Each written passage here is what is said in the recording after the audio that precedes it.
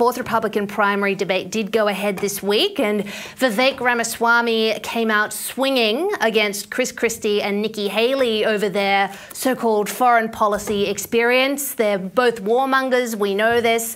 Um, do you think Ramaswamy was impactful enough to put himself back in this race? Because I'm inclined to think a lot of Americans nowadays might agree with him on a sort of less trigger happy warmongering stance. Well, I think that's an, an, interesting question. It's an insightful question. And it's really a layered question because uh, there's the question of did Vivek Ramaswamy have a standout performance at this debate? He certainly did. And I think there's certainly many people in the American public that are going to gravitate towards the things that he said. Obviously, many of the statements that he made, not just on the issue of foreign policy, where he is so independent, really, of the uh, the Chris Christie's and the Nikki Haley's and the mm. Ron DeSantis's. This more, uh, more, I, I, guess I would say, traditionalist GOP model versus a a more brash, uh, younger, but also in a sense classical model yeah. of of GOP realism of of understanding that um, rather than seeking, as we said before, this global hegemony, uh, that the United States could be a great power, could be interested in balance of power politics, and understanding its role in the world as well as in, within the Western Hemisphere should be the primary focus. Uh, this is something, by the way, that Donald Trump has obviously also spoken about many, many times. Mm and that predominantly the US's role in other parts of the world should be focused more on trade and diplomacy. That being said, um, there's also you know the angle of why are Nikki Haley and Ron DeSantis staying in this race when none of them really have any of these these polling numbers that are breaking out. Uh, it's because they're propped up by donors, whereas Vivek, of course, is propped up by himself. So he's yeah. going for those small dollar donors in many cases. He's building out a wide popular base. But Nikki Haley's donors, by the way, mm. they don't care. They don't care what she said. They don't care how bad she looked when she couldn't answer that question about the three Ukrainian provinces um, that they were focused on.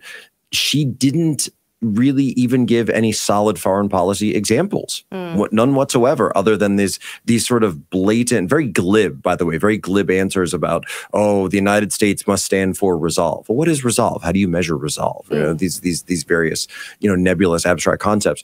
Whereas Vivek Ramaswamy you know, obviously is, is very well read on, on a variety of subjects, has looked into these things, and has come come back with complex answers to them and pragmatic answers, as opposed to sort of your your classical rhetoric of the United States must uh, invade and and intervene where wherever wherever spread it must democracy be. As far as being world, able to break out, yeah, spread democracy, right? Mm. As far as being able to break out into the into the primary, though, um, I think quite frankly, that Donald Trump's um, pervasive, not only name ID, but his fight, his struggle, his just uh, really cinematic, I would say cinematic struggle now against the, so many forces in the United States and abroad, these globalist forces that he is up against, whether you're looking at him in the courtroom, whether you're seeing him on uh, in a town hall saying that he'd, uh, you know, he he wouldn't want to be a dictator, except maybe mm. for one day. It, it's creating this sort of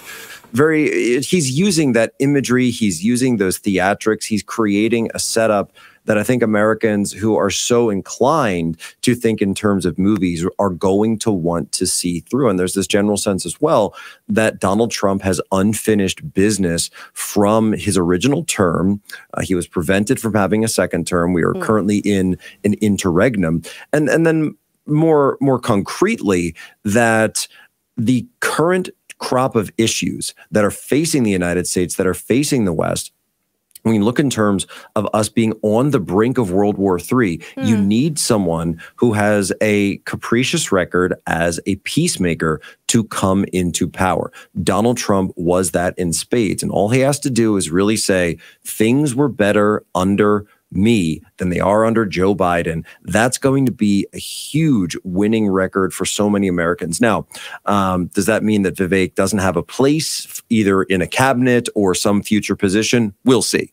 Um, there's there's been a sort of shadow campaign to uh, to see if Vivek would be interested in running for Senate. By the way, so he's in the oh, in the state of Ohio uh, which is the same state that uh, J.D. Vance just became a senator in last cycle. Mm. And there is currently an open Senate race um, that coming up this year, or coming up in 2024, I should say. And so there's been some talk about would he switch over because since they're both federal races, the, his campaign would essentially be able to switch over.